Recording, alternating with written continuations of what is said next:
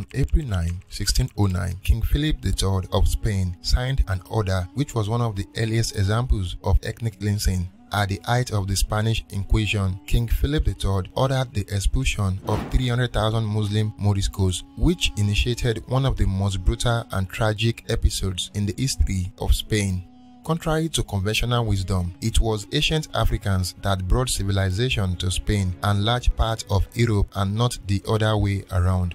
The first civilization of Europe was established on the Greek island of Crete in 1700 BC and the Greeks were primarily civilized by the black Africans of the Nile Valley. The Greeks then passed on this acquired culture to the Romans who ultimately lost it, thus initiating the Dark Ages that lasted for five centuries. Civilization was once again reintroduced to Europe when another group of black Africans, the Moors, brought the Dark Ages to an end.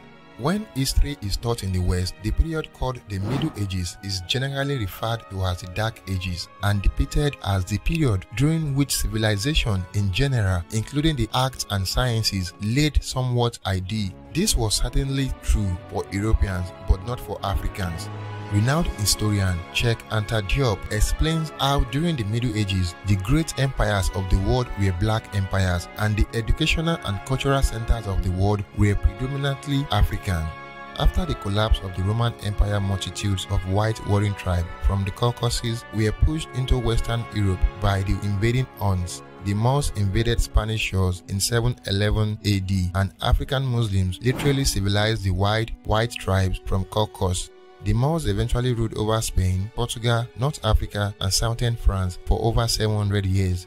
Although generations of Spanish rulers have tried to expunge this era from historical record, recent archaeology and scholarship now sheds new light on how Moorish advances in mathematics, astronomy, art, and philosophy helped propel Europe out of the Dark Ages and into the Renaissance. One of the most famous British historians, Basil Davidson, noted that during the 8th century, there was no land more admired by its neighbors or more comfortable to live in than a rich African civilization which took shape in Spain.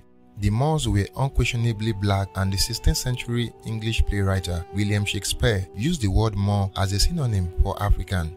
Education was universal in Muslim Spain, while in Christian Europe, 99% of the population was illiterate and even kings could neither read nor write.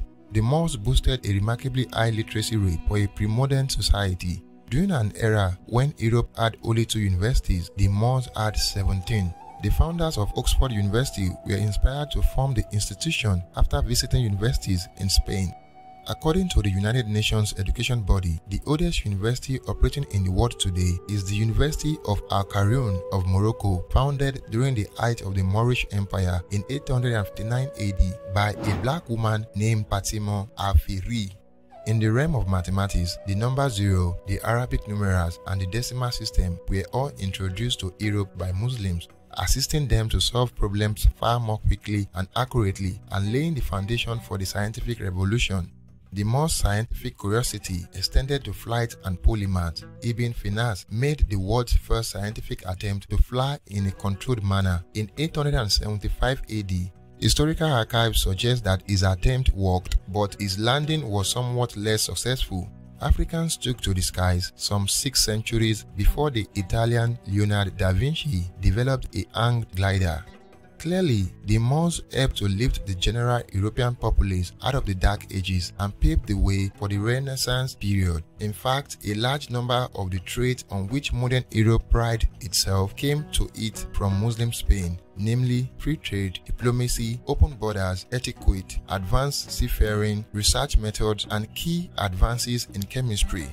At a time when the Moors built 600 public baths and the rulers lived in sumptuous palaces, the monarchs of Germany, France, and England convinced their subjects that cleanliness was a sin and European king dwelled in the big barns with no windows and no chimney, often with only a hole in the roof for the exit of smoke.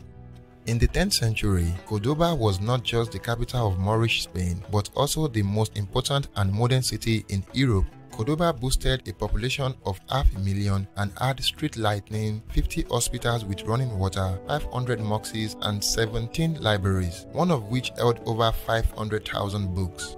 All of these achievements occurred at a time when London had a predominantly illiterate population of around 20,000 and had largely forgotten the technical advances of the Romans some 600 years before. Street lamps and paved streets did not appear in London or Paris until hundreds of years later. The Catholic Church forbade money lending, which severely hampered any effort at economic progress. Medieval Christian Europe was a miserable lot, which was rife with squalor, barbarism, and illiteracy. In Europe's great age of exploration, Spain and Portugal were the leaders in global seafaring. It was the Moorish advances in navigational technology such as the astrolabe and sextant as well as their improvements in cartography and shipbuilding that paved the way for the age of exploration. Thus, the era of Western global dominance of the past half millennium originated from the African Moorish sailors of the Iberian Peninsula during the 1300s. Long before Spanish monarchs commissioned Columbus search for the land to the west, African Muslims, amongst others, had long since established significant contact with the Americas and left a lasting impression on native culture. One can only wonder how Columbus could have discovered America when a highly civilized and sophisticated people were watching him arrive from America's shores.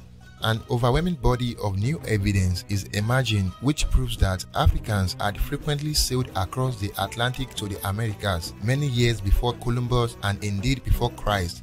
Dr. Barry Fell of Harvard University highlights an array of evidence of Muslims in America before Columbus from scriptures, oral traditions, coin, eyewitness reports, ancient artifacts, Arabic documents, and inscriptions. The strongest evidence of African presence in America before Columbus comes from the pen of Columbus himself. In 1920, a renowned American historian and linguist Leo Wiener of Harvard University in his book Africa and the Discovery of America explained how Columbus noted in his journal that Native Americans had confirmed that black-skinned people had come from the southeast in boat trading in gold-tipped spears. Muslim Spain not only collected and perpetuated the intellectual advances of ancient Egypt, Greece, and Roman civilization, also expanded on the civilization and made its own vital contributions in fields ranging from astronomy, pharmacology, maritime navigation, architecture, and law. The centuries-old impression given by some Western scholars that the African continent made little or no contributions to civilization and that its people are naturally primitive has unfortunately become the basis of racial prejudice, slavery, colonialism, and the ongoing economic oppression of Africa. If Africans rewrite their true history, they will reveal a glory that they will inevitably seek to recapture.